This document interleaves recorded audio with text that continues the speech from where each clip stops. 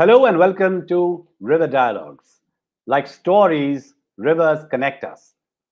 And dear river people, a very good afternoon. Anyone who joins this program as an audience or as a participant, I call them river people. You know, the last time we met uh, in River Dialogues, we met in person. Seems really so long ago. Hope we can heal. The river, as they say, knows it all. Now, the idea of River Dialogues um, actually emerged from a festival that we do at the India International Center called Art East. And in 2018, the theme of that festival was actually river. And the particular river that we narrated through films, art, history, and discussions was the Brahmaputra. It was the Tsangpo, Siang, Brahmaputra, Jamuna, Padda, Meghna. Six rivers that have been flowing forever, almost literally.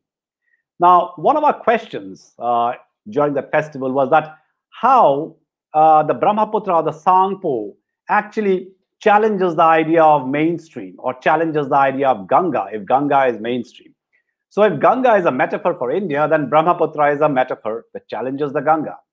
Now, while we were discussing that, there were people who raised their hand and then they said, well, Brahmaputra or Ganga, neither of them are, are, is my river. My river is the Siang. Someone said my river is the Adyar. Someone said my river was Sahibi, a river, dead river that uh, you know flowed through Delhi once upon a time. And we realized that people are connected to river to their own rivers. That is their Ganga. That is their Brahmaputra. So it's so while we were trying to you know pit brahmaputra against the ganga it wasn't really serving the purpose and we and that is how we thought that we will start a series of conversations around river and rivers and water. And that brought a really rich variety of ideas from music, poetry, conservation, ecology, gender, displacement, and caste. Uh, river, and one of the participants I quote says a river is not just a channel carrying water. It's not just hydropower. It's not just irrigation. It's not just drinking water. It's so much more. It's about communities. It's about forests. It's about wetlands, mountains, river mounds, and also deserts at times. And all of these manifestations of the external ecology of the river, but also the internal ecology. Today, we will hear our panelists talk of travel and the river. That's the title of today's uh, discussion. All of them are travelers, and all of them are writers, and all of them have crossed rivers or have walked down rivers. Pallavi Aiyar a foreign correspondent and author. She has reported from across China, Europe, Indonesia, Japan, and is currently the associate editor of the online magazine The Globalist, located. She's joining us from actually Madrid, Spain. Uh, I haven't known um, another journalist uh, who has traveled so much, lived in so many places. Uh, it's it's almost envious the kind of range that she has had in her coverage. Her most recent books, and I'm saying recent books because she's got a whole list of books, are Jakarta Tales, the continuing adventures of soybean and tofu. I don't like either soybean or tofu. And a thousand cranes for India, reclaiming plurality amid hatred, where I see at least two of my friends uh, in that anthology. There are several other titles that she has authored. She's also my former colleague at NDTV, which she almost forgot till I reminded her. Victor Mallet, another foreign correspondent, is an author, journalist, commentator who has traveled and worked for more than three decades in Asia, Europe, Middle East, and Africa. Again, he must have crossed many rivers. But uh, his uh, definitive book is uh, about Ganges, River of Life, River of Death, the Ganges of modern India. Very well received book. Uh, thanks, Victor, for writing that. I have uh, actually um, studied that book while we when we were doing this exhibition. One of the trivias that he won it's not a trivia, but a trivia for uh, in today's India. He won the Ramnath Goenka Award twice, but first for a 2012 feature about the rise of Narendra Modi. So you may be curious, uh, and I'll see if if we can uh, connect that today in today's uh, lecture somehow to the river. Samrat X Choudhury. Uh, we are still trying to figure out where why he uses X. Uh, he's a journalist and author, an old friend he has edited daily broadsheet newspapers in Mumbai, Delhi, Bengaluru, Chandigarh. Um, now he's the co-editor of Insider, Outsider, Belonging and Unbelonging in Northeast India. Uh, his first novel, uh, because that time he said that he was too busy with his broadsheet, so he couldn't have traveled to write a non-fiction was actually on Kipling's classic. Uh, and but his latest book, The Braided River, A Journey Along the Brahmaputra. This is uh, published by HarperCollins. Uh, congratulations, Samrat. And I'm your chair today uh, and co-conspirator of River Dialogues along with Tete, uh, who you cannot see, thanks to India International Center and OP Jindal Global University, where I teach journalism after having crossed several rivers and bridges, hopefully burning some of them on my way. Um, I will start with you, Samrat. In the preface to your book, I learned that you have given up a job for walking down a river. Now, has it been worth it? Definitely. Uh, I didn't, I mean, it, it wasn't all walking. We used various means of transport. Uh, some of it was on the river by boat. Some of it was along the river by different, you know, modes of transport, local transport, whatever was available. Sometimes it was cabs so we used all kinds of transport. Uh, on some, in some cases, we did have to walk, but relatively short distances, I would say. Uh, I think it was worth it because actually, uh, just the journey itself was wonderful, and uh, uh, researching the book taught me a lot. The river itself taught me a lot, you know, about ways ways of seeing, basically. Interesting that you say ways of seeing. I mean, taking off from John Berger's book. And uh, uh, what did you see? I mean, what other sights and sounds beyond water? I mean, you know, I've always felt that when we look at a river, when we talk about rivers, we are land people. Um, we are not river people. I mean, though I'm addressing everyone as river people because I wish we all all become river people to be able to understand water. Uh, what are the sights and sound and what did you learn from that? But i'm also i'm still curious and I'm, i haven't gotten the answer to my first question. I mean you you literally threw up a job and you said all right i'm going to walk down the brahmaputra. Uh, the calling must have been really strong. Uh, what was that calling?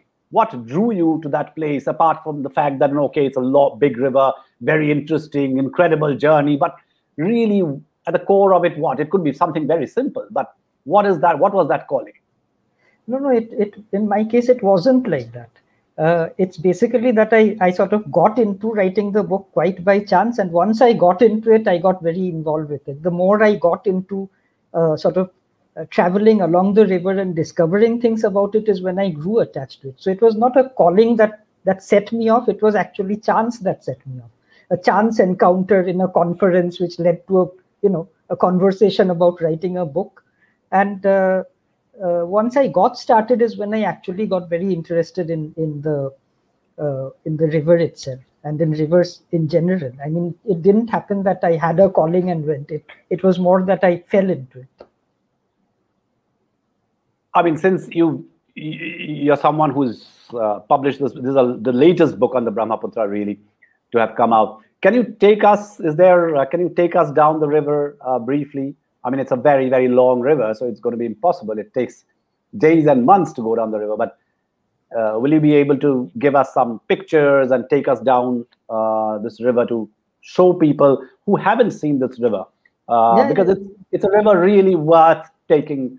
Uh, yeah, you know, I I, I have I have photos. We have lots of photos, and in fact, if we could see some of those photos right now, that might help. So, so basically, I'll just do a brief geography of the route. So, uh, basically, the river starts life as the Sampo in Tibet, and then it flows into Arunachal, where the name changes to Siang, and uh, in some places it's also called the Dihang, and then it flows into the plains of Assam, where it meets the two other major tributaries, the Dibang and the Lohit, and it becomes the Brahmaputra. Then that flows through Assam and curves around the Garo Hills, goes into Bangladesh, where the name changes to Jamuna. And then eventually, at some point, it meets the Ganga, and the two of them together flow towards the Bay of Bengal. That's the brief geography. This is the Siang. This is how the Siang looks in Arunachal. Next, that's the Lohit. And that's also in Arunachal. Next. That's the Dibang. So these are the three formative tributaries, and the Dibang looks really nice and quiet over here, but in the monsoon, it's quite different. Next. That's the Brahmaputra. This is in a, a place near Dibru Saikhowa National Park, which is in Upper Assam. Next. This is what the road looks like when you're going up. Uh, this is a section of the road along the Siang going up towards the India-China border. And as you can see, the road is not very good. And uh, that L sign there uh, did not make me very happy when I was, uh, you know, going up there. Next. Uh, that's that's a part of the, you know, what it looks like on the side of the road. So that's just a shot from the, uh, on the way. The, these photos, by the way, are by my friend Akshay Mahajan, very good photographer who uh, I traveled with. So the two of us went up there together. Next. Uh, this is in uh, this is the Brahmaputra in also in Upper Assam. This is at a river island. So the river is dotted with river islands, and of course it's a vast river. You can't really see the uh, the other bank. It looks like a line on the horizon, and this is from the middle of the river. This is actually not from a bank because this is a river island. Next. Uh, this is uh, rescued rhino babies at Kaziranga. This photo is by a different photographer, Shubha Moy. Next. And this is the Jomuna. This is the Jomuna bridge near Sirajganj in Bangladesh. So this is a picture that I took. I think that's about it. Uh, that's just a glimpse of the river just a few of the yeah. photos we took on the way. Yes, uh, I, I, mean the Brahmaputra, you know, through uh, ten pictures becomes very difficult to explain. But um, the vastness of the Brahmaputra in at various points is it's almost as big as the sea. I mean, you can't see the other side of the Brahmaputra, and that's that's important for uh, you know for people to people who haven't seen the Brahmaputra cross the Brahmaputra it you know it it it emerges its it sources in Tibet and comes down and as it enters what is today India there is a Tsangpo gorge and for at least one and a half I mean you know more than a century uh, the Scottish Geographical Society which was obsessed those days in trying to find out the source of rivers uh, spent a lot of money and energy sending explorers to find out about the Tsangpo gorge because uh, no one would believe that actually the Tsangpo is the Siang and the Brahmaputra. They thought that the Tsangpo in its uh, would actually flow a different direction. If Tsangpo had to enter into Siang, then it would fall at a tremendous height, which would probably make it the most incredible sight in the world. It was only actually in 1997 that uh, Ian Baker um, made it into the gorge. Uh, we were lucky that Ian Baker uh, came and made a presentation when we did the festival on the Brahmaputra. Um, it took him years, uh, really. It took him um, almost a decade to be able to go into the gorge and prove finally that. Uh, I mean, by then, of course, there was already proof that the Tsangpo was the Siang and the Brahmaputra. So the the the the story around the Brahmaputra and the Siang is, I mean, know, it's it's actually uh, so varied and so old and so incredible that you know one can go on and on. But uh, I will uh, ask Pallavi, uh, who has spent a considerable amount of time in China, and um, since the river comes from there, uh, to ask Pallavi that have you seen um, the river in China? But the bigger question that I wanted to ask, something that Victor reminded, that you know, in India, Victor said that India is very lucky that people are still connected to their rivers uh, they still remember rivers uh, through the folklore and the mythology. Uh, in many parts of the world, that's gone. How is it in China, Pallavi? I mean, uh, do people are people connected to their rivers? Super interesting question, Kishan. And I'd like to also just quickly say thank you to the IIC and everyone for organizing this. And also to uh, mention that I'm really here in many ways as a sort of supporting cast for Samrat and Victor, who are the true riverists with their books on the rivers. However, I have crossed many rivers uh, in my travels, both metaphorically and uh, literally. And uh, China, of course, was somewhere that rivers was extremely important to. Um, as in India, with the Ganga and the Brahmaputra, which of course have many of their sources in, in Tibet, which is now in China, for millennia, China's great rivers have kind of snaked across the country and they provided the lifeblood for the civilization. I mean, in many ways, the Yangtze River in the south and the Yellow River in the north, they're really kind of almost synonymous with um, Chinese culture. But the river in China is hugely interesting, I think, in understanding its history and in some ways also the development of its more contemporary politics.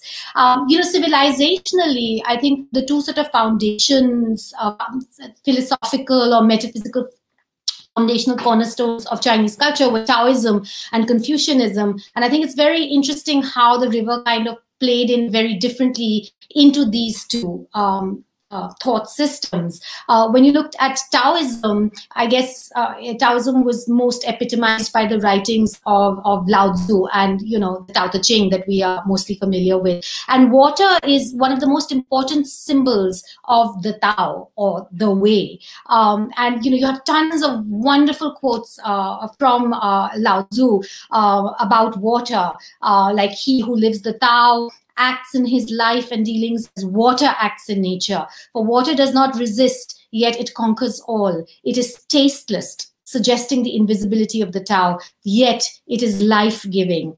Be as water, you know, be supple, flexible, humble. Water does not compete. So you have this concept of water, which also sort of hints at how important rivers and water bodies are to Chinese culture on the one hand. And then you have the more Confucian um, concept uh, which I think was embodied more by China's contemporary politics, Communist Party and Chairman Mao, for example, which was much more anthrocentric, really putting man at the center of nature and uh, you're seeing rivers as something to be conquered by human beings, as something to be tamed and put to the service of humanity. And it was very interesting because uh, Mao, you know, politically, he used his swimming skills to demonstrate his virility and his sense of being in control uh, often. Uh, of similar to another gentleman who talks about his 58 inch chest. Uh, Chairman Mao um, swam swam the Yangtze in the 1960s um, as a way of sort of unleashing the, the Cultural Revolution by proving that he was still virile and that, you know, uh, rumors of his ill health were, were, were overblown. Um, so, yeah, it's, it's very interesting, I think, how water has really figured uh, in literature and also in politics um, and, of course, has been the actual foundation for so much of um, Chinese um, civilization. Uh, we have seen uh, a disconnect um, between uh, people's ways of life and um, nature in general in China, uh, which I think is something that is not only uh, um, peculiar to China, it's something we've seen across the world.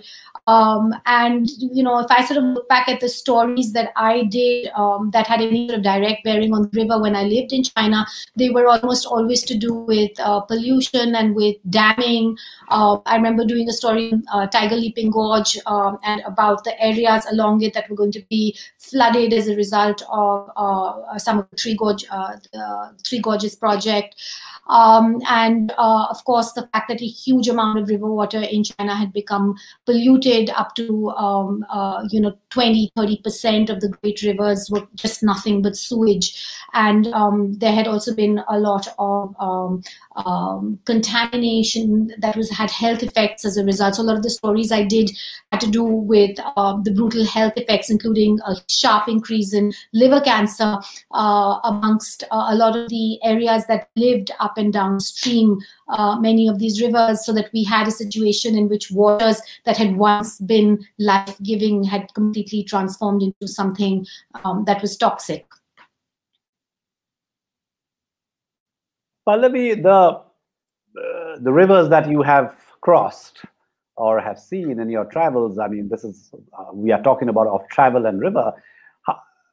how do you would you be able to compare rivers between the east and the west? You've seen rivers on both sides. I mean, out here, as you say about China and uh, particularly in India, rivers are like a pilgrimage. I mean, you know, rivers are spiritual. Uh, it's it's, it's uh, uh, it's part so of our identity. aspect that I think the, what really strikes one in India, especially, is how important it is to religious rituals, right? And to Hinduism and the rites and the ghats of Varanasi, Haridwar, Rishikesh. Um, I mean, as a as a child in school in India, I remember one of the big plays, dance dramas we had done was the Ganga, and we actually showed um, its flow right from um, uh, its source all the way down, um, uh, you know, when it mingles with the Brahmaputra and so on. And you don't don't really get that in, say, you know, rivers in Europe. The sort of spiritual significance of it seems to have uh, uh, gone. Um, and then a lot of the other places that I've lived in, I mean, the other two uh, countries that I've lived in, Indonesia and Japan,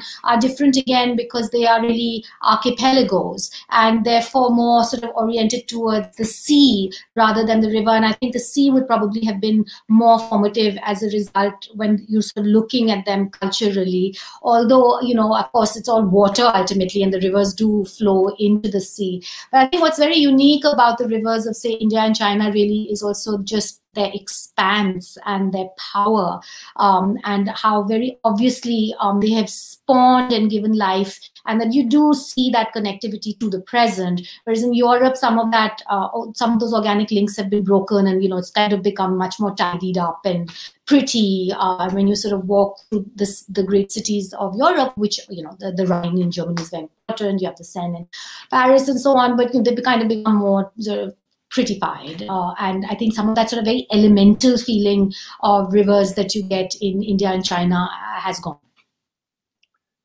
Thanks, Pallavi. Uh, let me ask Victor now, since he's uh, he must have grown up in places with um, rivers, but then he comes to a country almost um, adopts uh, or is adopted by. I mean, he spent a considerable time in India, and you know his his reports in India has been. Uh, we still remember them. Uh, and you and you write a book on Ganga. Um, was did Ganga really take you up? Uh, like you were in awe of Ganga, or uh, was there any other reason that you wrote about Ganga? And how would you compare? How do you compare Ganga or uh, Indian rivers to the rivers where you grew up? And I'm not very sure where you grew up, Victor. Well, it's it's all very good questions. I, I want to take you up on something you said right at the beginning. You said, you know, we're not really river people uh, anymore, or we're not, you know, we're not particularly river people. But I think that's wrong. I think everybody in the world actually is a river person. We are river people. Uh, it's just that we don't know it, uh, uh and it's not just you know Bangladesh and, and and West Bengal, which are obviously kind of very much river countries. Um, it's it's it's more uh, it's, it's, much bigger than that. Um, uh, you know, I, I, challenge you to think of uh, a single major city in the world that isn't founded on a river, isn't built on a river. I mean, I'm in Paris now, which is on the Seine. Uh, uh, the Thames in London is, is another obvious example. The only city I can think of is Johannesburg, which was built where it was because gold was found there and it became a sort of gold mining center. But almost every other major city in the world is is built on a river. So we really are kind of all river people. And if you look at the Ganges, um, you know, the Ganges catchment area and the Brahmaputra catchment area, which obviously go together, to, they they support you know, I mean, a, a, billion people, a seventh of the world's population, basically depend on these on these two rivers.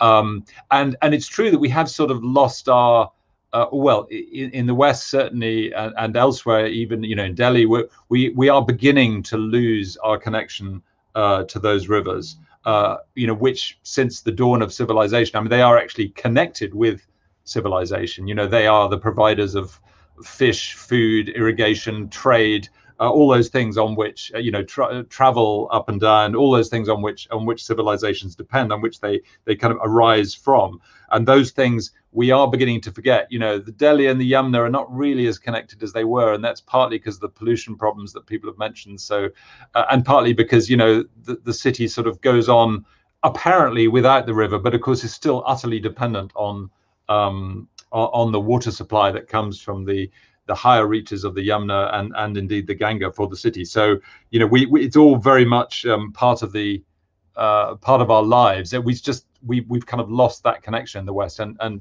I think as Pallavi was saying, the religious uh, the religious connection in India, India means that that is less true in India. India is much more connected on a daily basis to its rivers, uh, and and especially the Ganga. And and you also um, you also sort of asked, uh, I think right at the beginning, um, uh, about um, about the whole sort of you know why is the Ganga kind of the river, and, and people don't talk so much about the Brahmaputra. And I think it, it's really a, a kind of um, uh, it's a it's a matter of of, of eons of, of change. You know, originally it was the Indus River, which after all gave its name to India. Um, that was the kind of center of, of, of, the religious center and, and the, the civilizational center. And that sort of slowly moved east and south uh, uh, across the Ganga. Uh, and, and the Ganga is, is not, it's not so much a sort of, it's not just a geographic thing as, as a river. It's also, it's kind of ever present. I mean, uh, you know, when Modi went to Mauritius, he, he uh, I think he put Ganga water in a in a lake that's called Ganga. I, I, was in Sri Lanka, and there's a pond near a temple that is named after Ganga. There's even a well in uh, in the Cotswolds in in southern England, uh, which is connected to the Ganga because a Maharaja, a grateful Maharaja, uh, built a well for the water short people of this village in the Cotswolds. So you know, it is a kind of uh, ever-present thing uh, as as a kind of spiritual and a uh, yeah, I mean, essentially a spiritual presence, even if the actual water is not necessarily from the Ganga itself. So, you know, we are all sort of connected. And just you asked, um, you know, about my connection. I mean, yeah, I, I just kind of have always been obsessed with rivers. You know, I was I was brought up, I, I guess, in um, a lot of it abroad, but in in Kent, where there's a little river, sort of a mile from where I live, which you know you can walk along. And and I, I did it the other day when I was writing my book about the Ganga and discovered that it's actually quite long. It's 100 kilometers long. It's a tiny river, uh, but you know down that river as well, there was trade. Uh, up until the 1950s, there was coal being transported along this what is now a, a very small river. Uh, uh, and, and, so on. So you know these things do kind of uh, live on. And then I, as, as a child, I was also I lived in Sudan um, in Khartoum, which is at the confluence of the Blue Nile and the White Nile, which makes the Nile. And, and just uh, to go back, one of the things I mentioned um, is, uh, you know, the cities are built on rivers. They're also often built on river confluences. And as you know, in Hinduism, river confluences, uh, like the one at Allahabad, are, are, very holy and are very important. And the same is true, uh, was true in the West. You know, the, the confluences of rivers in uh, ancient Britain were very important religiously, and people used to make offerings, as they still do in India today, to the river. It's just that nowadays that has kind of fallen by the wayside. But but in in in ancient history, it's still the case that those rivers were uh, were very important religiously. But I better stop there because you probably have a, a, another question.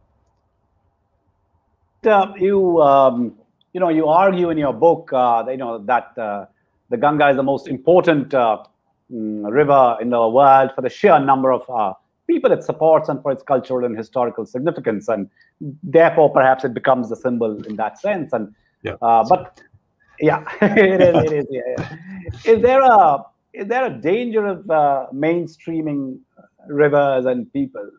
Uh, I mean, which is which is something that you you you already mentioned, but I'm uh, repeating the question that you know that uh, we don't. I mean, Narmada is in, in our collective consciousness because of the protests around Narmada. Uh, but, uh, you know, no one talks of the Adyar in uh, Chennai, which is uh, which flows through uh, Chennai and now in a terrible shape and state. No one talks about the Krishna and the Godavari in the up north. Or so, is there? I'm, I'm, I'm again posing the question to you for a for a for a more clearer uh, answer, prompting you to say that? I mean, is there a danger? I, I, think what you're what you're asking, if I get you right, what you're asking is sort of do by focusing only on major rivers, important rivers that in the public consciousness we tend to forget the others. I think yes. that is possibly true, but I think that there's a sort of there's a more optimistic way of looking at that, which is to say that uh, if we can uh, deal with the problems in an iconic river, it also means we can deal with the problems in uh, lesser known rivers. And and and, and the, the contrary is also true. You know I, one of the things i the conclusion of my book is really about how uh, india has not yet lost uh, the ganga to uh, pollution and disaster and overdevelopment uh, as some other countries have done. But it also makes the point that uh, other countries or other parts of the world have begun to recognize the importance of their rivers again, and they have, in a sense, restored those rivers to health. Uh, and this is very much the case in London, which you know, even when I was a child, the Thames was essentially a dead river at London in London. Uh, it's slightly different from the Ganga at, at Benares, for example, because it's a it's a it's a obviously a much smaller river, but it's also a tidal river in London. But the point is that the river was so polluted over so many years that it essentially became dead. There were no fish. It was toxic, and they always said if you fell in the river, you know, you'd have to have your stomach pumped because it was so dangerous. I mean, that was just not that long ago when I was a child. Um, and now the river has been restored to health, and you may not notice it when you go because it's a muddy river because it's it's got lots of silt, but it's actually quite clean, and there are fish in it, and you even get sort of whales and dolphins uh, wandering by mistake up the river. It's really a, a, clean river. The same is true of the Rhine in in Europe, which uh, which runs through six or seven countries, which uh, is a hugely important river civilizationally and for trade in Europe. And this too was quite polluted until a few decades ago. And again, a lot of money was spent on restoring it, and uh, and and that you know example spreads across to other rivers. And in the United States, you've had similar issues where, in fact, when um, Obama uh, first met Modi a few years back, they actually talked about, uh, you know, I was told by one of the people who was in the meeting, they actually talked about the environment and they talked about rivers. Uh, and Obama told him how the Chicago River had once been so toxic that it used to catch fire and you couldn't eat the fish, you know, and now you can catch fish and, and eat the fish and so on. Uh, and and uh, Modi actually said that's exactly what I want for the Ganga. And you know, we can argue about whether or not he has actually succeeded in doing anything to to rescue the Ganga from pollution, but he certainly talked about it, and he certainly initially and uh, and in his first administration, he certainly had the will to do that. So, yeah, I think it's you know the main thing is that that rivers should be should be uh, not preserved in aspic, but should be allowed to run. Uh, uh as, as Samrat was saying, you know, one of the things, and, and you were saying, it, it, it's not so much that you need to control the river. Uh, actually, rivers especially in, in North India and India, they tend to wander around the place, you know, and they should be allowed to wander around the place because in doing so, although they can be destructive, they also deposit life-giving silt, which gives fertility to the crops. And as soon as you start channeling the rivers too much, you lose that. And obviously that's happening in the Nile, for example, as well, where the, the life-giving silt is no longer available as it was uh, to the sides of the river uh, because of, of, of, big dams that are being and have been built on the Nile. So you have uh, you know, it's kind of important to preserve rivers, uh, but not to try to control them too much, because then you lose some of the benefits that rivers have always given to to mankind. One last uh, thing in this co uh, conversation, Victor, is that you've been referring referring to the river as Ganga, but your book uh, calls it the Ganges. Um, was it the publisher's call or your call? Uh, it, it, was it was my call. I mean, I had a um, I know, you know, uh, some Indians get very upset if you call it the Ganges instead of Ganga, but obviously the audience is international. So in in the book itself, I, I refer to it as both, depending on you know what I'm talking about. Uh, the title, though, does have the word Ganges in it because it is for an international audience, and most people outside India don't know what what Ganga is. But I personally, I don't think this is really very controversial. You know, in the same way that. Uh, you can argue about whether it's Bombay or Mumbai or Chennai or Madras. You know, in reality, these things are not hugely significant because, uh, you know, I mean, I live in in France, uh, and the French call London Londres. Well, that you know, we call it London, and they call it Londres, but we don't get upset about that. They call England Angleterre. Uh, they call Great Britain Grande Bretagne. I mean, that is just the French for um, the French for London and England and Britain. Uh, and in the same way, Ganges is the English for Ganga. You know, so in, in that sense, I don't. I don't feel it's controversial, although I know it, it can be quite a sensitive issue in India. Uh, so I, I, actually, in, in, in the book, I indiscriminately use both. And if I'm quoting people and they say Ganga, I obviously use Ganga. And I have a little note at the beginning of the book explaining what I've done and just saying, actually, it's not a big deal. You know, this is just uh, not not controversial. But I, I don't know if you will agree, but that's, you know. Yeah, no, I'm not offended at all. I, I just yeah. wanted to know, you know, what made you take the call. I know that's a, it's for the international audience. Yeah, yeah. Uh, yeah.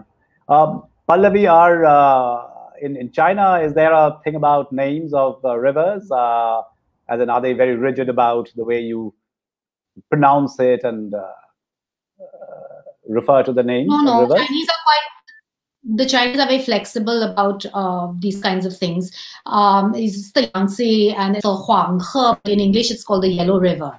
Um, uh, most people don't know how to say uh, and so on. So I don't think that they're bothered. And the Chinese, in fact, tend to make Chinese names for all foreign um, names as well because the language is such that it cannot absorb uh, foreign phonetics very easily. And so it's like a two-way street and they're quite comfortable with having dual sets of uh, names for things.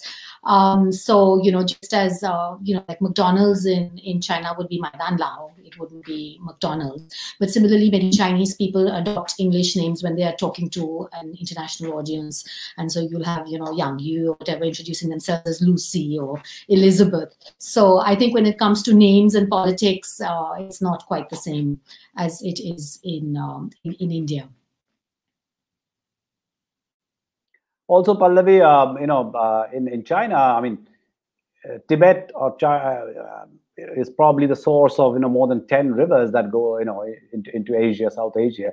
Uh, I'm sure China is uh, conscious of being an upper riparian and how uh, rivers are political. But is that something that is um, the, a common Chinese would also talk about or understand, realize the politics of rivers? No, I don't think I don't think that the sort of politics of um, rivers is something that's very um, uh, high up in the public consciousness, and that's partly because you know it's a controlled press, and so there's certain things that end up getting written about. But interestingly, like what I was talking about earlier, um, the, the the pollution, the the pollution of rivers, and the growth of these so-called cancer villages and so on, that did take on a life of its own, and was an example in many ways of civil society pushing um, the CCP towards uh, environmental reform. Um, and there was a kind of uh, uh, uh, uh space that had opened up, particularly in the early 2000s, uh, for journalists to be able to talk about um, the environment quite openly.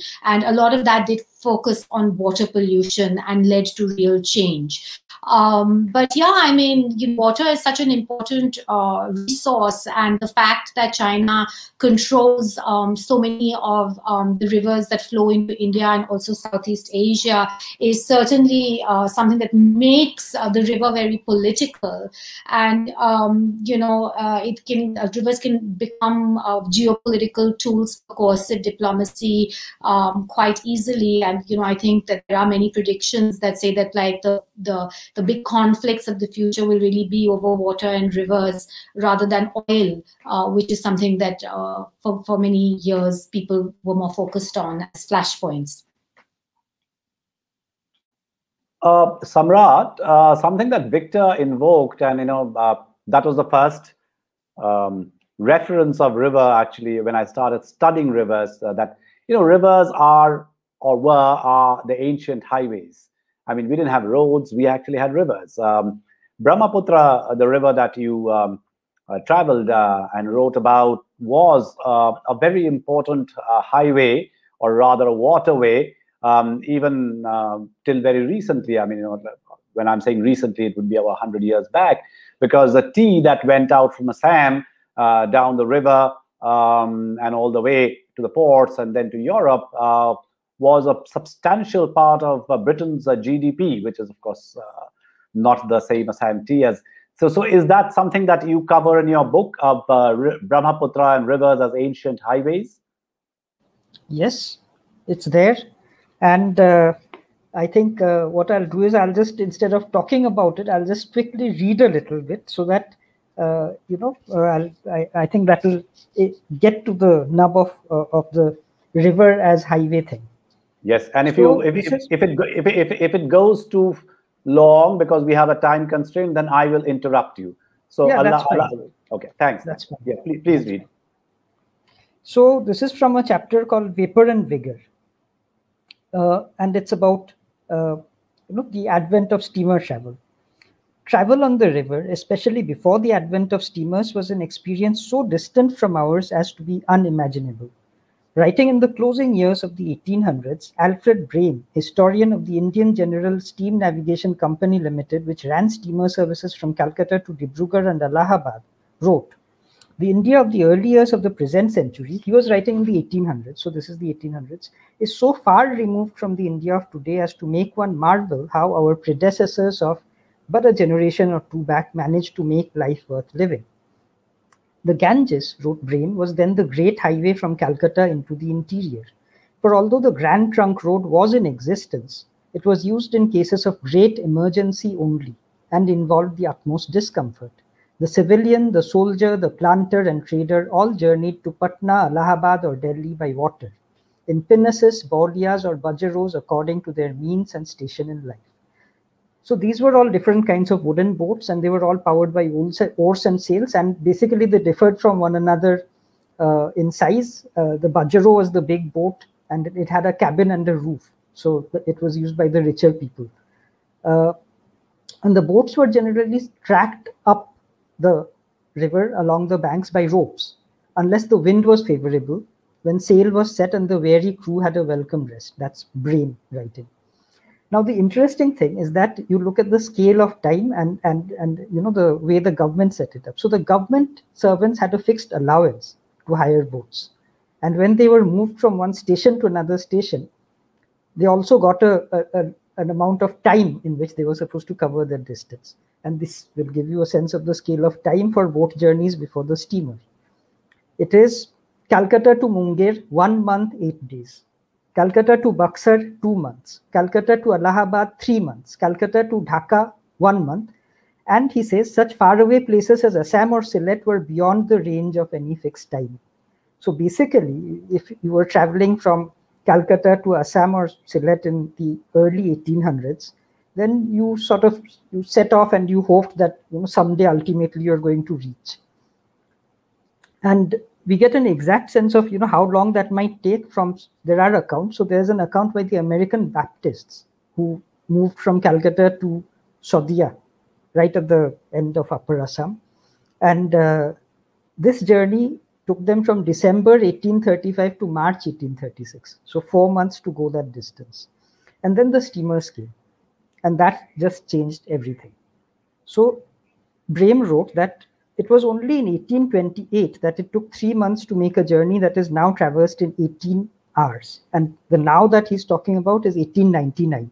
And the route he's talking about, the journey which took three months in 1828, was Calcutta to Allahabad. And by 1899, it's already become 18 hours. So basically, it it had taken 70 years and the Industrial Revolution for the distance between these hitherto remote lands to shrink to practically nothing. So, I mean, in the context of the Brahmaputra also, it's basically, it's, it's the advent of steamer travel and the combination of steamer travel with tea plantations, uh, which sort of integrated that part of the of the world. First, the Brahmaputra Valley, and subsequently the hills, into what is now mainland India or what is now India. First, it was the British Indian Empire, and then so so the northeast of India came into India only because of river travel, and India's frontiers on the Chinese side were also shaped by it, because the disputed frontier between India and China, the McMahon line, it comes out of a, a river journey or a journey along a river. It's a journey uh, in 1900 and I think uh, it was 12, 13, the winter, when uh, there was an expedition uh, which went along the Dibang, the valley of the Dibang, all the way into Tibet. And uh, I will, I will, I, I, will, I will ask you to hold your thoughts out here, um, Samrat, because there is a question uh, about regarding that, and I think we've uh, we are close. I mean, I mean, the audience has been asking a lot of questions, so I think I'll we'll move to that and uh, let you continue with the thought that you were sharing. But uh, ladies and gentlemen, um, some of you have joined later and were wondering what Samrat is reading out from, that's from Samrat's latest book, The Braided River. Um, he could explain to us in one of his answers what braided means. Uh, uh this is also one of those only last rivers in the world which has not been touched by uh, mankind, which means it's not been dredged or anything of that sort. So it's a natural river, um, something that Samrat will be able to explain. But you know, in each of your responses, when you respond to other people, I want each of you to also say that travel writing, uh, which is, I mean, what we are talking about, our travel and river, is also involves tremendous amount of research because you know this book that I was going through, I haven't yet completed reading the book, um, but there is just now what he narrated. It this, this involves a lot of research, so it's not like you know you just go down the river and say, "Oh, I love the river," and this is not a travelogue really, or even a travelogue needs research. I think that is something important that we forget talking about when we discuss uh, about rivers and writing. So I'll quickly start with the questions, uh, Samrat, and since you were mentioning about it, there's someone called Samaresh Chatterjee um, from Delhi. And a question that he has for you is that how close to the Tibet border uh, did you go during your travels? So you could complete well, I, what you were saying and you know also answer the question. Uh, well, I got all the way right up to the uh, up to the McMahon line, more or less. The last the last village uh, which is Geling, and uh, in this up the Siang Valley. And uh, we were stopped on the outskirts of Geling by the Indian Army, who happened that day to be having some sort of gathering out there. And the commanding officer was visiting, and the uh, Jawans were a bit agitated, so we basically got uh, sort of uh, made to stand in a corner kind of thing next, you know, the edge of the road with the river far below. And uh, then we were put on the back of a dumper truck and sent back.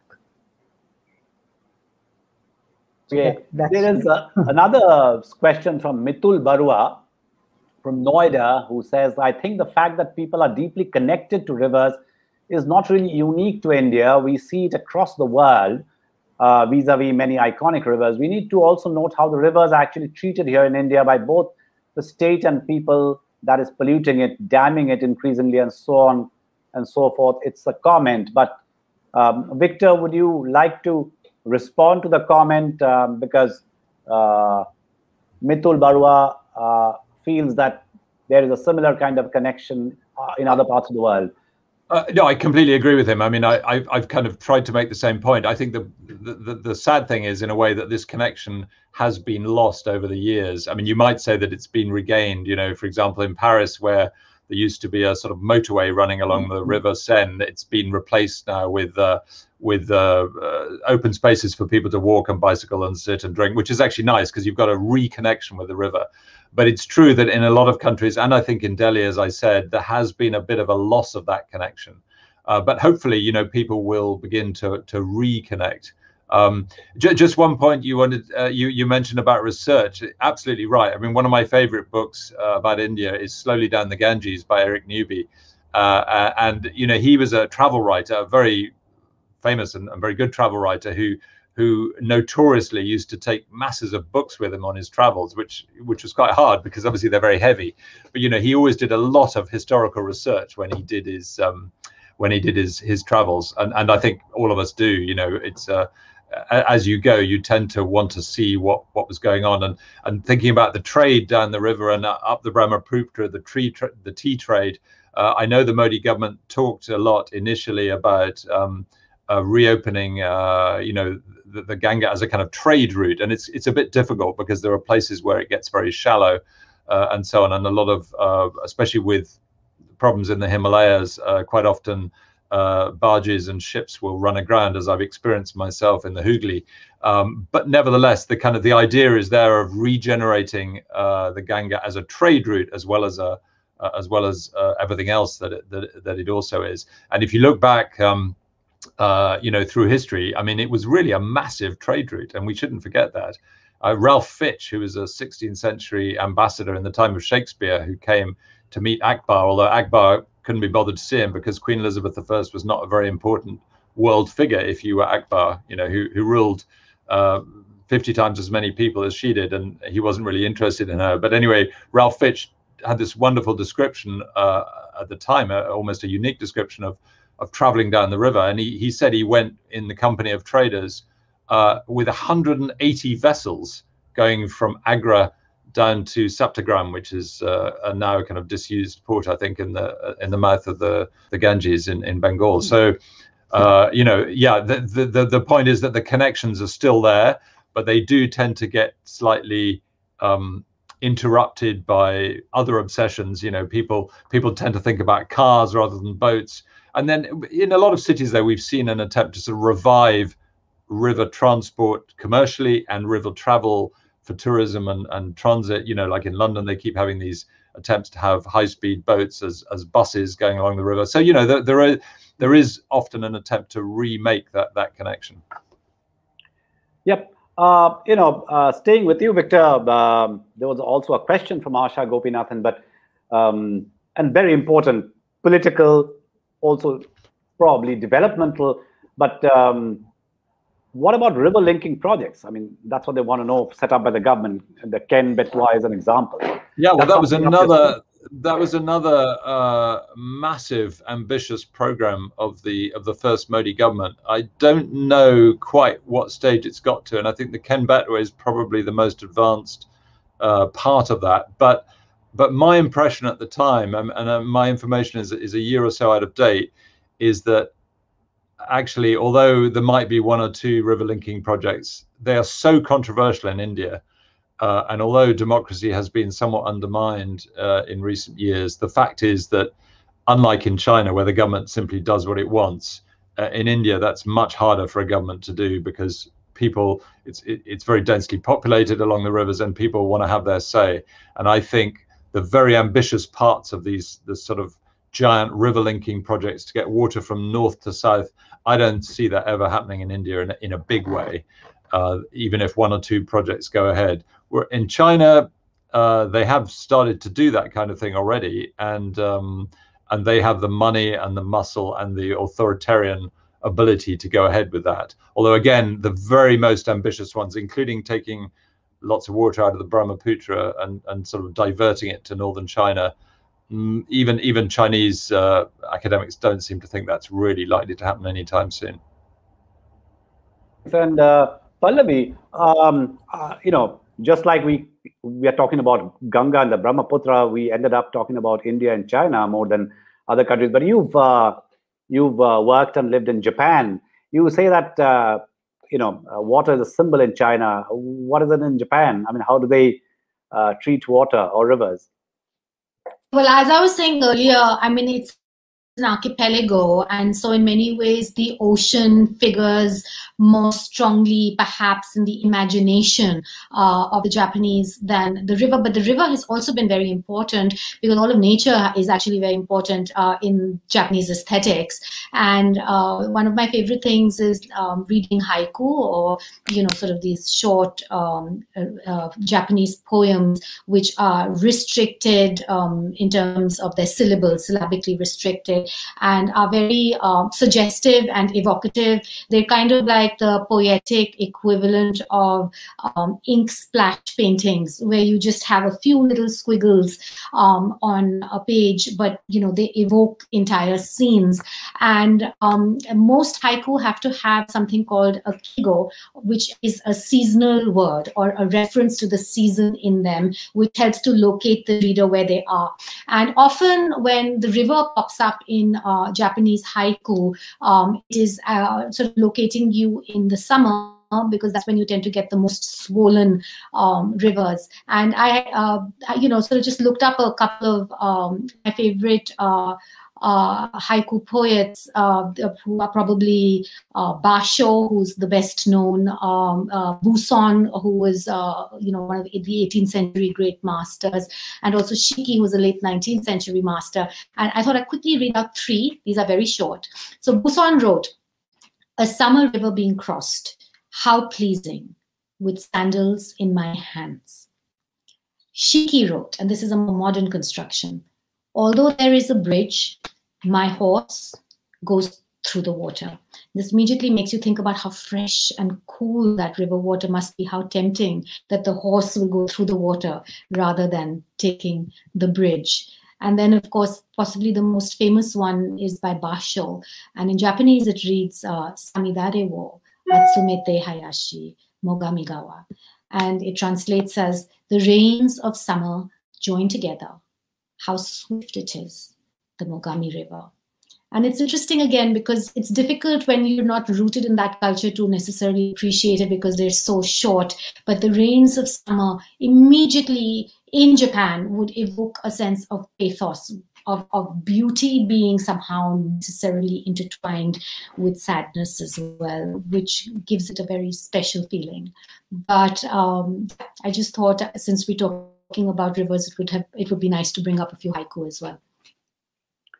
Thanks, Pallavi. I think it kind of, you know, the way one thinks about a river in a very poetic way, um, rather than being prosaic, though I don't uh, see any conflict between prose and poetry. Uh, I think both uh, occupy the same, you know, they have their own uh, beauty. But I, I, you know, it, it's, a, it's a lovely way to uh, end the conversation. Um, I know that Victor will have to leave and we have to wrap up this conversation. There was someone, I'd just like to read out at least one, one, one of the responses from the Deepali from Delhi, who's, who actually says that she she comes from the place where Ganga um, begins or starts, she says, Dev Prayag, where Alaknanda and Bhagirathi converge to make the Ganga. And having seen river and life around it so closely and, and the fact that nature takes its own course, do you really think that the rivers could potentially come and take back their due? Now, uh, in response to that, um, uh, Dipali, I'll just uh, quote from one of the previous uh, participants, and that's what I do in each of the editions. I actually save a little quote from one of the panelists, and I use it in the next edition of River Dialogues. Uh, uh, and in Sumana Roy, one of the writers, good friend, who was in their anthology, Pallavi. Um, yeah, so this is Sumana's, uh, and she was there in the last, in the previous uh, River Dialogues. There was Somana and Parinita Dandekar, and they were talk, they were talking about poetry, about water and rivers. And she says that in a Nandalal Bose painting called Chorui Bhati, which translates uh, to picnic, you have a canvas that's set on the banks of the river Kopai. You have these trees, and you see the trees because he was a master of painting motion and movement. You have the trees swaying in the wind. Just as a dot, you see a man's head. Here is a man who's trying to make us remember uh, that uh, that is what a man is. A man is not at the center of the universe. Man is not the center of the canvas. We have forgotten that. Uh, so whether through art or through other mediums, that's one thing uh, we would like a vocabulary for these relationships to be created. And I think you know river dialogues and these series of conversation are an attempt to do that. I mean, it's a free flowing conversation.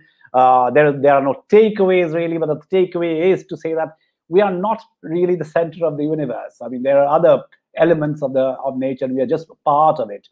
Um, anyone who joins this conversation becomes a river person, but I uh, will stand corrected because Victor says that we are actually all river persons. And I hope you will become a channel for water and rivers to carry the stories that you just now heard, stories that are inside you, stories that will connect us just like rivers. And uh, something that I would urge uh, the audience and everyone is to please go and pick up the book, um, Victor's, uh, Pallavi's, and Samrat's.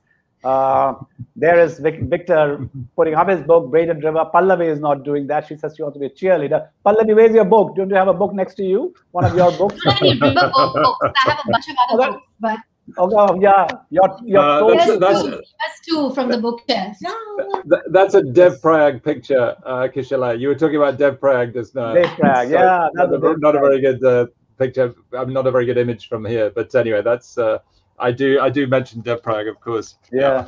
And like like our friend Sainath says that uh, you know our cost of a book is uh, actually less than uh, taking a friend out for coffee. So uh, you know, please go ahead, go out and buy the book, uh, but also travel down the river.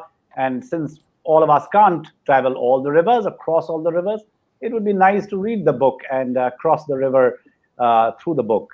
So um, thank you so much. Thank you, Victor. Thank you, Samrat, uh, Pallavi, IIC. Uh, thanks, Tete. Thanks, Nishant. And um, we will soon uh, let you know about the next edition of River Dialogues uh, coming up, and that's going to be on the Indus. Good day uh, and stay safe. Thank you Thank very you. much. Thanks.